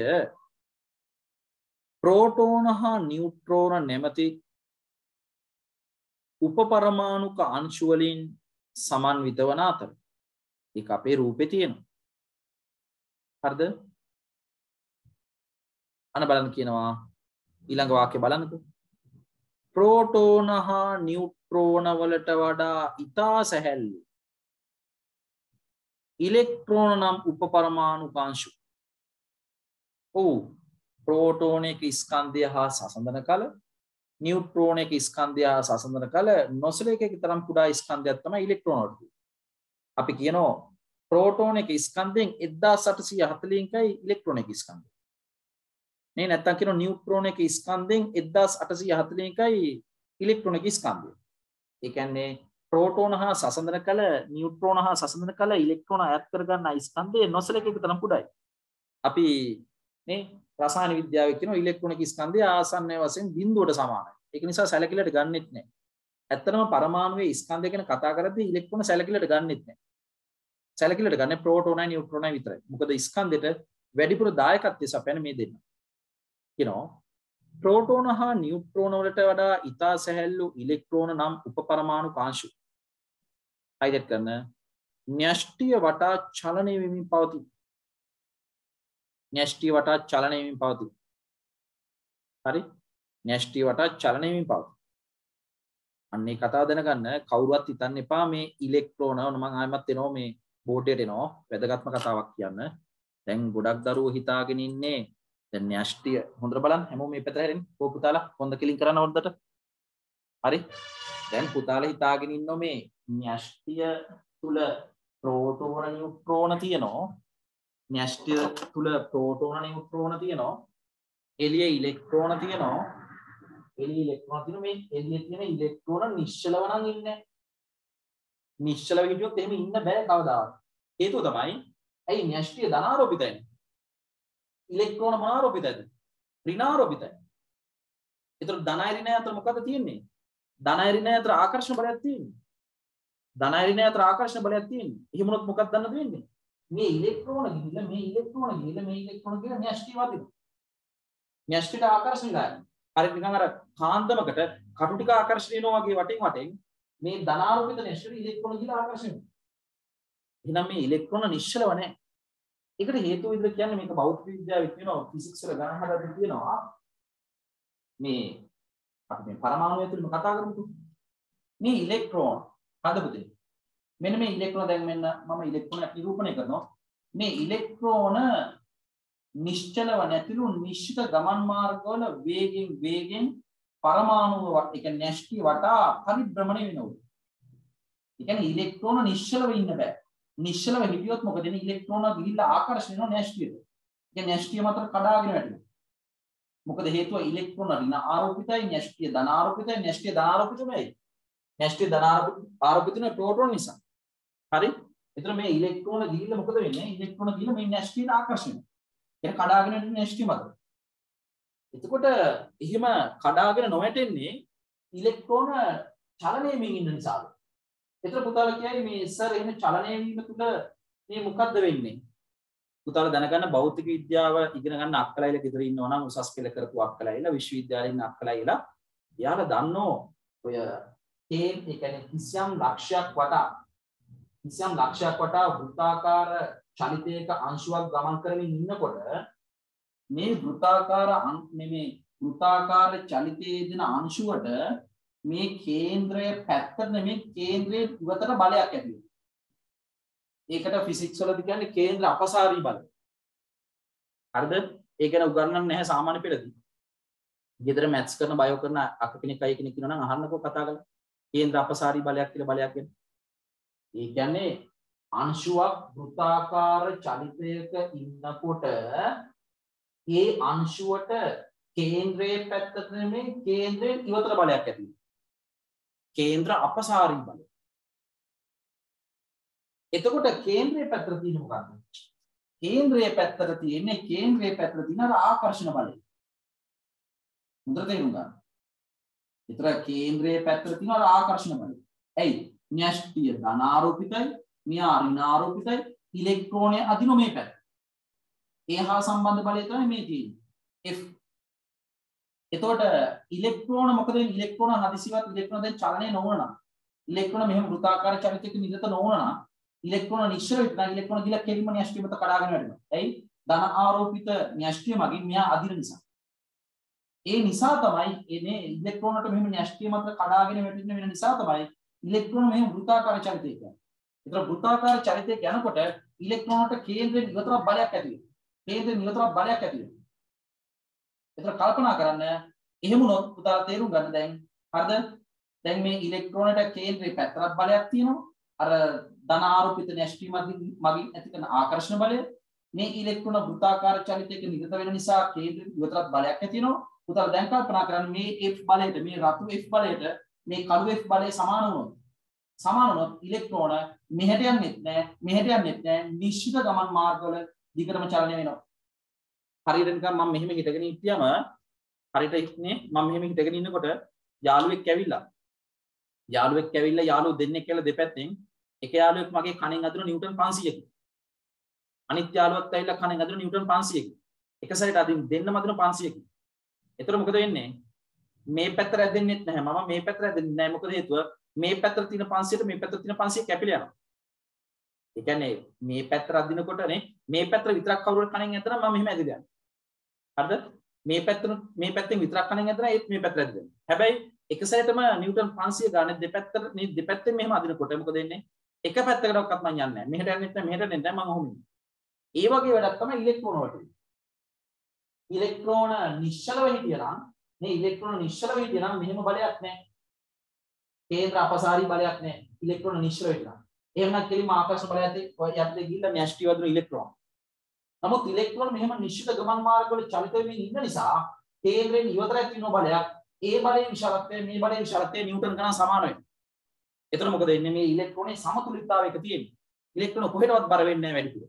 ඒක නිසා නිශ්චිත ගමන් මාර්ගකම දිගින් දිගටම චලනයමින් ඉන්නවා කියලා කියනවා. හරිද හරි. එහෙනම් පුතාලා දැනගන්න ධන ආරෝපිත න්‍යෂ්ටිය තුල හරි ධන ආරෝපිත න්‍යෂ්ටිය තුල ප්‍රෝටෝනයි නියුට්‍රෝනයි තියෙනවා. නියුට්‍රෝන වලින් ආරෝපණයට දායකත්වයක් නැහැ ඒක උදාසීනයි. ප්‍රෝටෝන වලින් තමයි ආරෝපණයට දායකත්වය සපයන්නේ හරිද හරි. ප්‍රෝටෝන ඔන්න මේ ධන ආරෝපිත. ඒක නිසා න්‍යෂ්ටිය ධන. එතකොට එළියේ තියෙන ඉලෙක්ට්‍රෝන. එළියේ තියෙන ඉලෙක්ට්‍රෝන ඒතර ඉලෙක්ට්‍රෝන නිශ්චල වෙන්න කෙනෙක් නෙමෙයි ඉලෙක්ට්‍රෝන අනිවාර්යයෙන්ම චලිත වෙනවා. චලනය වෙනවා න්‍යෂ්ටි වටේ. බැරි වෙලා හරි ඉලෙක්ට්‍රෝනයක් නතර වුණොත් මොකද වෙන්නේ? ඉලෙක්ට්‍රෝන එක සැරේට නතර වුණොත් මොකද වෙන්නේ? චලනය නතර කරොත් මොකද වෙන්නේ? චලනය නතර කරොත් එක සැරේටම චලනය නතර කරපු ගමන් මේ බලය නැති වෙනවා. කේන්ද්‍රයේ නියතර තියෙන බලය නැති වෙනවා. නැතිච්ච ගමන් ඉලෙක්ට්‍රෝන ගිහිල්ලා වදින න්‍යෂ්ටි. තේරුණා නේද? හරි. අපි යන් ඉස්සරහට. ඒක නිසා න්‍යෂ්ටියට පිටින් අවකාශය තුළ ඉලෙක්ට්‍රෝන චලනයම ඉන්නවා කියලා මතක තියාගන්න. හරි නේද පුතේ? හරි. ඔක 10 ඇසුරින් තව පැහැදිලි කරන අක්කලා ඊළඟට. නමුත් ඉතින් 9 අවසර කියලා කියන්නේ දැන් වැඩි කාලයක් යන්නේ 10ට ඉස්සරහට යන්නේ. හරි. බලන්න. මෙතන මෙන්න මෙතන අපි පිටු අංක 7 මෙන්න මේ අන්තිම ඩොට් එකට කලින් ඩොට් එක. අවසාන වාක්‍ය කියන්න ගිහලා තමයි එතන ඔය ප්‍රශ්නේ ආවේ අපිට. මොකද්ද? පුතල් ලියපු වාක්‍ය බලන්න. පරමාණුවේ මධ්‍යයේ ඇති න්‍යෂ්ටිය ප්‍රෝටෝන හා නියුට්‍රෝන නැමැති උපපරමාණුක අංශු වලින් සමන්විත වන අතර ඊළඟ වාක්‍ය ප්‍රෝටෝන හා නියුට්‍රෝන වලට වඩා ඉතා සැහැල්ලු. ඉලෙක්ට්‍රෝන නම් උපපරමාණුක අංශු න්‍යෂ්ටිය වටාන බලන්න න්‍යෂ්ටිය වටා චලනය වෙමින් පවතී. ඒකට හේතු තමයි මං කිව්වේ. අවසාන වාක්‍ය හැමෝම දන්නවා. අවසාන වාක්‍යෙට කලින් වාක්‍ය මොකද්ද? පරමාණුවේ මුළු පරිමාව හා සසඳන කල න්‍යෂ්ටිය අයත් කරගන්නා පරිමාව නොසලකිය හැකි තරම් කුඩා වන අතර. මොකද මොකද? පරමාණුවේ මුළු පරිමාව හා සසඳන කල න්‍යෂ්ටිය අයත් කරගන්නා පරිමාව නොසලක එක තරම් කුඩා. නොසලක එක තරම් කුඩා. අද නොසලක තරම් කුඩා වන අතර ඊට පස්සේ කියනවා පරමාණුවේ සමස්ත ස්කන්ධයම මෙම ලක්ෂීය න්‍යෂ්ටිය මගින් ඈත් කරගනි. ඔව්. එහෙම වෙන්න එපාය. ඇයි ඉතින් න්‍යෂ්ටිය තුලනේ ප්‍රෝටෝනයි නියුට්‍රෝනයි දෙන්නම ඉන්නේ. ඉලෙක්ට්‍රෝන එළිය තිබුණට වැඩක් නැහැ නේ. ඉලෙක්ට්‍රෝන වල ස්කන්ධය නොසලක විතරම් කුඩායිනේ. හරිනේ හරි. ඊළඟට කියනවා උපපරමාණුක අංශු වල පිහිටීම හා ඒවායේ ಗುಣ කීපයක් පහත වගුවේ දැක්වේ. පහත දැක්වේ. යම් පහත වගුව බලලා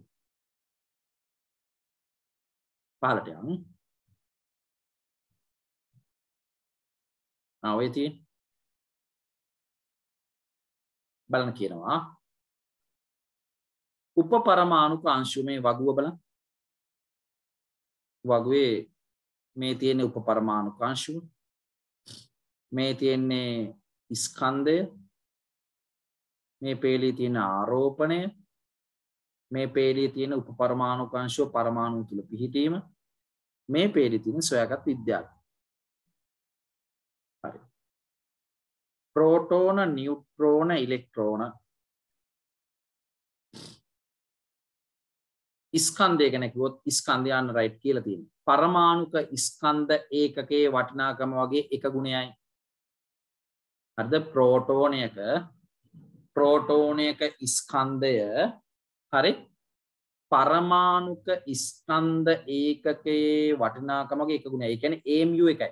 බෝඩ් එකේ අපි එක ලියලානේ තියෙන්නේ AMU එකයි. නියුට්‍රෝනයක ස්කන්ධයත් පරමාණුක ස්කන්ධ ඒකකයේ වටිනාකම වගේ එක ගුණයයි. ඒ කියන්නේ AMU එකයි. ඉලෙක්ට්‍රෝනික ස්කන්ධයත් පරමාණුක ස්කන්ධ ඒකකයේ එකනේ ඒකකයේ වටිනාකම එද්දාස් අටසීය හතලින් බෙදුරු පස්සේ ලැබෙන අගේට සමානයි. ආරෝපණයට ගියොතින් ප්‍රෝටෝන එක ආරෝපණය ධන එක. නිියුට්‍රෝන එක ආරෝපණයක් නැහැ බින්දුවයි උදාසීන ඉලෙක්ට්‍රෝන එක ආරෝපණය රින එකයි. තව ඉස්සරහටය පරමාණු තුළ පිහිටීම හරි ප්‍රෝටෝන න්‍යෂ්ටිය තුළ තියන්නේ නිියුට්‍රෝන න්‍යෂ්ටිය තුළ හැබැයි ඉලෙක්ට්‍රෝන තියෙන න්‍යෂ්ටියට පිටින් අවකාශය තුළ එකත් හරි. සොයාගත් විද්‍යාඥයන් දන්න ප්‍රෝටෝන අර්නස්ට් රදර්ෆර්ඩ් නිියුට්‍රෝන ජේම්ස් චැඩ්වික් ඉලෙක්ට්‍රෝන ජේ තොම්සන්. වගුව හරි. තා පහලටය ඒ වාක්‍ය කියන පහලින් තින වාක්‍ය කියන පුතාට පේනවත් දන්න හැ පහලින් කියන තියෙන වාක්‍ය උප පරමාණුක අංශුවල ස්කන්ධය ප්‍රකාශ කරනු ලබන්න. මොකද මොකද උප පරමාණුක අංශුවල ස්කන්ධය. ප්‍රකාශ කරනු ලබන්නේ ප්‍රෝටෝනයක ස්කන්ධයට සාපේක්ෂවයි. ඔවු. අපි ප්‍රෝටෝනයක ස්කන්ධය සලකන්නේ ඒමි එකක් කියලනේ එකයි කියල සලකන්න. ඒමි එකයි. ඒමිය එකයි. හරි? ප්‍රෝටෝන එක ස්කන්ධය අපි සලකන්නේ පරමාණුක ස්කන්ධය එකක එකයි එකන ඒමිය එකයි අර එයාට සාපේක්ෂව තමයි අනිත් කට්ටියගේ ස්කන්ධ ඉදිරිපත් කරනවා කියලා. කියන්නේ කියන්නේ නියුට්‍රෝන එක ස්කන්ධය කියන්නේ ප්‍රෝටෝනික ප්‍රෝටෝනික ස්කන්ධයට සමාන. කියන්නේ AMU එකකට සමානයි. ඉලෙක්ට්‍රෝනික ස්කන්ධය කියන්නේ ප්‍රෝටෝනික ස්කන්ධයෙන් 1841යි. ඒ කියන්නේ ප්‍රෝටෝනික ස්කන්ධය 1840න් බෙදුව මෙන්න උත්තරේ කිව්වත් එකයි නැත්නම් ප්‍රෝටෝනික ස්කන්ධය ගුණ කිරීම 1840 කිව්වත් එකයි. ඒක මේකයි. උපපරමාණු අංශවල ස්කන්ධය ප්‍රකාශ කරන ලබන්නේ ප්‍රෝටෝනික ස්කන්ධයට සාපේක්ෂවයි. ඒ වගේම තවත් වාක්‍යයක් කියනවා. උපපරමාණුක අංශවල ආරෝපණය ප්‍රකාශ කරනු ලබන්නේ. මොකද? උපපරමාණුක අංශවල ආරෝපණය ප්‍රකාශ කරනු ලබන්නේ ඉලෙක්ට්‍රෝනයක ආරෝපණයට සාපේක්ෂවයි. හරිනේ? ඉලෙක්ට්‍රෝනික ආරෝපණය ඍණ එක ප්‍රෝටෝන එක ප්‍රතිවිරුද්ධ කතා දාන එක නියුට්‍රෝන එක නේ ආරෝපණයක් නෑ උදාසීන. ඒක එච්චර ලොකු වැදගත්කමක් නෑ ඒ වාක්‍යය හරි? ඊළඟට තියෙන අපිට ඉතා ගැඹුරු කාරණයකට අත දහන්න තියෙන්නේ පරමාණුක ක්‍රමාංක ඉස මෙතනින් පස්සේ පුතාල දැනගන්න කතාව මේ බලන්න මෙන්න මේ වගුවක් තියෙන එහා පැත්තේ පිටුවංක 9 වගුවක් තියෙනවා. මේ වගුවේ පේනවද හැමෝම බලන්න. මේ වගුවේ පේනවද මූලද්‍රව්‍ය මූලද්‍රව්‍ය 20ම තියෙන පේනවද පුතාට? මූලද්‍රව්‍ය 20ම තියෙන පේනවද? මූලද්‍රව්‍ය පරමාණු 20ක් තියෙන පේනවද එකේ ඉඳන් 20 දක්වා පිළිදි තියෙන පේනවද hydrogen, helium, lithium, beryllium, boron, carbon, nitrogen, oxygen, fluorine, neon, sodium, magnesium, aluminium, silicon, phosphorus, sulfur, chlorine, argon, potassium, calcium. එතර ඔය විස්ස පුළුවන් එන්න ඕන. ලබන සති මම පන්ති වෙලාවේදී නම් කරලා කිව්වොත් කියන්න කියලා කියන්න පුළුවන්ද පිළිවෙල 20 පුළුවන්ද? මූලද්‍රව්‍ය 20 මං එදත් පාඩම් කරද්දි කිව්වනේ මේක ඕන කියලා. ඕන දැන් ඕන වෙන තැන? හරිද? ඒක පිළිවෙලටම ඕන. පොත බලාගෙන කියලා වැඩක් නැහැ. බිත්ති ගහපු ඒක බලාගෙන කියලා වැඩක් නැහැ. තනියම පුළුවන් වෙනවා. ෂුවර් නේ? පුළුවන් නේ? මොකද නැත්තම් ලබන සතියේ ඉඳන් පාඩම නිකන් ඔක්කොම නිකන් අපරාධයක් වෙනවා හොඳට කරගෙන කරගෙන ඉන්න පාඩම හොඳට තේරිලා ඇවිල්ලා අපරාධය ඒ 20 බැරි නම් වැඩක් නැහැ. මොකද ඒක 10 වසරටත් ඕන 11 වසරටත් ඕන. ඒ කියන්නේ ඕලෙ වලටත් ඕන. ඕලෙ වලින් පස්සෙත් ඕන. ආනේ පරමාණු ක්‍රමාංක 1 සිට 20 දක්වා පිළිවෙලින් මූලද්‍රව්‍ය 20 ඕන. එක සැරයක් කියමු බලන්න මොකද්ද 20 1 hydrogen 2 helium 3 lithium 4 beryllium 5 boron 6 carbon 7 nitrogen 8 oxygen 9 fluorine 10 neon 11 මොකද්ද? සෝඩියම් දොළහා මැග්නීසියම් දහතුන ඇලුමිනියම් දාහතර සිලිකන් පහළව පොස්පරස් දාසය සල්ප දාහත ෆ්ලෝරීන් දහට ආගන් දහනමය පොටෑසියම් විස්ස කැල්සිම් පුළුවන්නේ? පුළුවන් වෙන්නම ඕන. හද? ඒව තමයි මතක තියාගන්නම් දේවල්. නැතුව ගණන් හදන විදි කට පාඩන් කළ වැඩන්නේ හද? ඒව ගණන් හදන ක්‍රම විතරයන ඔන්න ඕ හැබැයි ඒ පිළිවෙලට මතක තියෙනවා. නැත්නම් අමාරු හරි. එහෙනම් අපි අද දවසේ සාකච්ඡාව නතර කරන්න හදන්නේ හරි? අපි ඊළඟ දවසේ එහෙනම් ආයෙමත් හමු වෙමු. පුතාලා එහෙනම් කැමරා ඔන් කරන්නකෝ.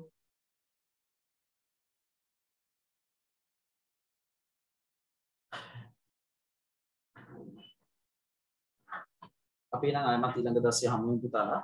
හරි. එහෙනම් හැම දරුවෙකුටම උත්සන්නය දීපීටයි හැමෝටම සුබ සන්ධ්‍යාවක්. ලබන සතියේ සෙන්සුරාදා අපි විභාග ලකුණුත් එක්ක හමු වෙමු. පුතාලා විභාග ලකුණුත් අරගෙන එන්න. හරිද? හරි. එහෙනම් හැමෝටම බුදු සරණයි දීපීට. හරි. එක සැරේට ආයිබෝන් කියපු නැගිටින් 1යි 2යි 3යි. ආයිබෝන් පුතේ. දරුවෙක් කන සර් මට ඔක්කොම ටියුට් ඕන. ඔය ගන්න පුළුවන්. පන්තිය පහලට පහලට පහලට පහලට යන්න. ගිය සතියකට යන්න ඊට උඩින් සතියකට යන්න එහෙනම් පහලට පහලට යන්න. යනකොට දිගටම ටියුට්ස් තියෙනවා. පහලටම යන්න. මම මයික් එක ඔන් කරනවා. ගැටලුවක් තියෙන දරුවෝ කතා කරන්න පුළුවන් නැති දරුවෝ ලී වෙලා යන්න පුළුවන්. ආ මං අලුතෙන් ලුවාවේ අලුතෙන් ආපු දරුවන්ට මේ පරණ රෙකෝඩින් බලන්න අවස්ථාව ලැබෙයි. මේ 10 වෙනිදා 10 වෙනිදා ගේට්ස් Excuse me sir. ඔහුගේ රෙකෝඩින් ඇක්ටිව් වෙනවා. ඔව් කියන්න පුතේ. සර් ඕසෝන් එකේ ක්ලාස් පටන් ගන්නවද දැම්ම? දැනට ඇපෙක්ස් එකේ පටන් ගන්න තියෙන පුතේ ෆිසිකල් පන්ති බලමු ඉස්සරහට දැනට ඇපෙක්ස් එකේ තියෙනවා. මොකද දැන් මේ මේ ජුනි මාසෙනේ අපි ඉන්නේ ජුනි මාසෙ ඉඳන් දෙසැම්බර් වලට සිලබස් එක හරියටම කරන්න ඕන. ඒක නිසා අර රෙකෝඩින් ආධාරයෙන් ෆිසිකල් දරුවන්ට රෙකෝඩින් ආධාරයෙන් කොටසක් සම්පූර්ණ වෙනවා. ඊළඟ ටික තමයි ලයිව් ක්ලාස් එකේ සම්බන්ධ ඒ කියන්නේ සජීවී පන්තියේ කව වෙන්නේ. ඒක නිසා ලොකු ප්‍රායෝගික ගැටලුවක් තියෙනවා. මේ ඉතිරි මාස ටික තුල මොකද දැන් මේ ඉන්නේ 6 වෙනි මාසෙ. අර මාස තව 6යි තියෙන්නේ. 6 ඇතුළත මේ ගොඩාක් දේවල් කරන් තියෙන නිසා දැනට Apex එකකින් පටන් ගන්න තියෙනවා. හරි. මම ඒකට කියන්නම්. සෑර සින්දුව කියන්න පුළන්ද ආ සින්දුව ලබන සති කියන්න. හොඳේ. මෝටවල සිින්දුව කියන්න ලබ සතියේ ඒ මෝල දැවල සිින්දුව ලබ සතිය කියන්නේ සිින්දුව ඔව් ඒක තමයි. මගේ සින්දුව දන්නද? ඔවුස සතියත් කිව්ව මේ සතිය කියන්න කිය ඒක සර් බාලගිරි දෝෂ අදනමේ හෙට වගේනේ. නෑ. මොකද සින්දුව දැන් අවසානට කියන්න මොකද සින්දුව නැතුව පුළුවන් වුණාම හරි සින්දුවෙන් ඊට පස්සේ කොහොමද පුළුවන් නේ? නැත්තම් මුලදී කිව්වොත් නැත්තම් සින්දුවෙන්ම ඔක්කොම දේවල් කරගන්න බලාගෙන ඉන්නවා. හොඳේ? හරි. ඊයේ ක්ලාස් එකේ රෙකෝඩින් එක අද රැට දානවද? මොකද පුතේ? ඊයේ ක්ලාස් එකේ රෙකෝඩින් එක. ඔව් අද රැට වැටෙනවා. ඒක. සර් අට වසරේ ටර්ම් ටෙස්ට් කිව්වනේ සර්. ටෙස්ට් ඒකේ සර් මම ටර්ම් ටෙස්ට් එකකටයි මල්ටි ටෙස්ට් දෙකකටයි CNC තිබ්බා. සර් මාත් එක්ක කතා කරේ නෑනේ. ඒ මොකද ඒ? සර් කතා කරේ නෑ ළමයි එක්ක. කතා කරන්නේ ගිය අවුරුද්දේත් කතා කරන්නේ නේද? හරි බලමු බලමු. දැන් ලබන සතියේ නම් බලමුකෝ. සර් පෘථුවිය සූර්යයා වටා පරිභ්‍රමණය වෙන්නේ කේන්ද්‍රීය කේන්ද්‍ර අභිසරණ බලය නිසාද? සූර්යා මොකද මොකද ආයමත් කියන පුතේ? පෘථුවිය සූර්යයා වටා පරිභ්‍රමණය වෙන්නේ කේන්ද්‍ර අභිසර අභිසාරී බලය නිසාද? එතන තියෙන්නේ සූර්යා කියලා කියන ලොකු වස්තුවක්. ලොකු ස්කන්ධයක් තියෙනවා. ඒතර සූර්යයට තියෙන ලොකු ගුරුත්වාකර්ෂණ හැකියාව. ඒතර සූර්ය කරන්නේ අර ඉලිප්සාකාර පතේ පරිභ්‍රමණය වෙමින් ඉන්න පෘථුවිය සූර්ය පැත්තට ඇදගන්න. ඒ කියන්නේ සූර්ය හදනවා පෘථුවිය ඇද ගන්න. එතකොට ඒ ආකර්ෂණ බලය ගුරුත්වාකර්ෂණ බලය මගින් සූර්යගේ පැත්තට පෘථුවිය ඇද ගන්න හදනවා. නමුත් පෘථුවිය නිශ්චලව හිටියොත් පෘථුවිය ඉලිප්සාකාර පතේ මත නිශ්චලව හිටියොත් අන්න කෙලින්ම ඇවිල්ලා සූර්යගේ වගේ. නමුත් පෘථුවිය අර ඉලිප්සාකාර පතේ නිශ්චිත වේගයකින් පරිභ්‍රමණය වෙන නිසා අර කේන්ද්‍රයෙන් ඉවතට කේන්ද්‍ර අපසාරී බලය ක්‍රියාත්මක. ඒතර අර කේන්ද්‍ර ඉවතට ඇති වෙන කේන්ද්‍ර අපසාරී බලය කේන්ද්‍රයේ පැත්තට තියෙන අර ගුරුත්වාකර්ෂණ බලයයි විශාලත්වයෙන් සමාන වෙච්ච නිසා පෘථුවිය සූර්යයා මත ගැටෙන්නේ නැතුව නිශ්චිත ඉලිප්සාකාර පතවල ගමන් කරමින් ඉන්නවා. හරි නේද පුතේ? Excuse me sir. ඔව් කියන්න. සර් මේ මම යටටම ගියා ටියුට් බලන්න දෙවනි මේ පාඩමේ ටියුට් එක විතරයි තියෙන්නේ. මේ පහලට යන්න තව තියෙනවා. රිවර්ස් එකෙත් යන්න. පළවෙනි පාඩම නම් අපි අතින් දිවේ සුදර්ජින්ගේ භාවිත. රිවර්ස් ක්ලාසෙත් පහලට පහලට යන ඔක්කොම තියෙනවා. හොඳේ? හරි සර්. හරි පුතේ. එච්චරයිද අපේ දරුවන්ට ප්‍රශ්න?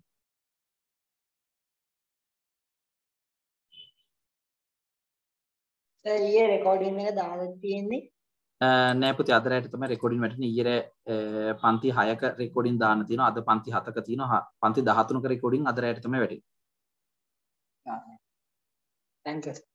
හරි you welcome පුතේ සර් මුල් මුල් ඒවයි මේ රෙකෝඩ් බලාගන්න පුළුවන්ද පුළුවන් බලන්න මැයි මේ මේ මේ ජුනි 10න් පස්සේ ගේට්ස් පේමන්ට් ගේට්ස් වැහුවට පස්සේ ඇක්ටිව් වෙයි පරණ රෙකෝඩින් පුතේ හොඳේ හරි සර් හරි පුතේ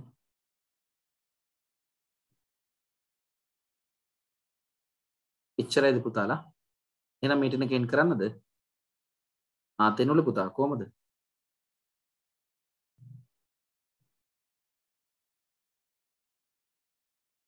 හරි එහෙනම් මීටින් එක එන් කරමු.